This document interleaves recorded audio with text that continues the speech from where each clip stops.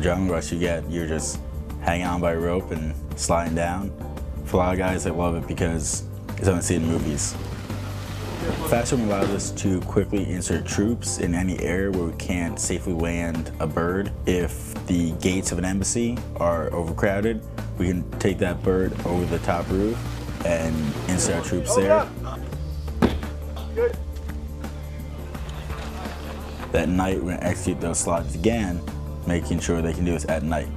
In Marine Corps, we love to operate at night. We like to get in while the enemy's sleeping. Look down. Down, down. Some of the aspects of this job are easy.